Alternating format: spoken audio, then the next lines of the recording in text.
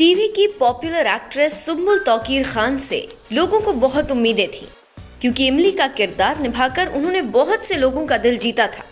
लेकिन अब big boss के घर के अंदर सुम्बुल अपना किरदार अच्छे से नहीं निभा पा रही हैं। और यही कारण है कि सुम्बुल अब शो में अपनी पहचान खोती जा रही है। जिसके बाद लाख समझाने के बाद भी जब सुम्बुल नहीं समझी तो आखिरकार सलमान खान को एंग्री मैन के रूप में आना पड़ा और उन्होंने सुम्बुल को जमकर फटकार लगाई।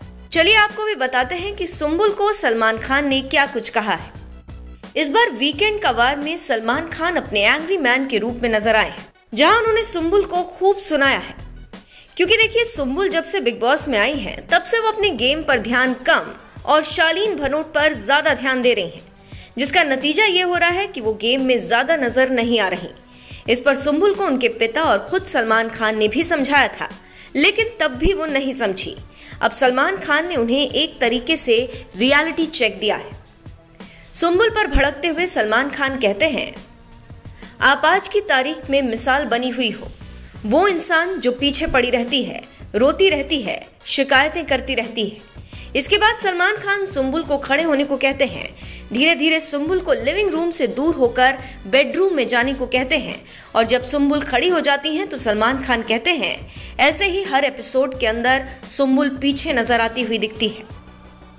अब ऐसा क्या हो गया है कि सलमान सुम्बुल को इतना कुछ कह रहे हैं? ये भी जान लीजिए। दरअसल सुम्बुल काफ़ी कमज़ोर कंटेस्टेंट होती नज़र आ रही है। उन्हें शालीन भनोट के पीछे पीछे चलते देखा जाता है। ऐसा लगता है बस वो उनके साथ हैं और अपना गेम नहीं खेल रही।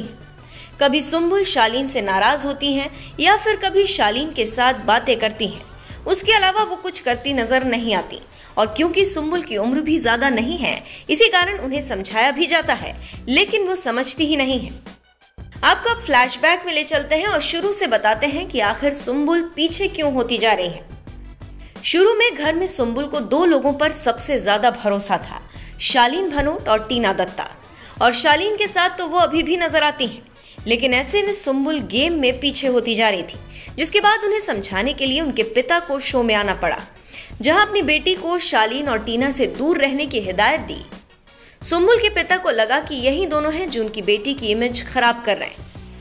उन्होंने कहा कि मेरी बेटी छोटी है तो आप लोगों ने उसका तमाशा बना दिया।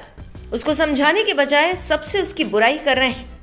इसके बाद सलमान खान ने भी सुम्बुल को समझाया। सलमान ने सुम्बुल से कहा कि उन्हें किसी पर डिपेंड होने की ज़रूरत नहीं है। उन्हें मूव ऑन करके अपने गेम पर फोकस करना चाहिए। लेकिन इसके बाद भी सुम्बुल नहीं समझी, जिसके कारण अब सलमान खान को सुम्बुल पर गुस्सा होना पड़ा।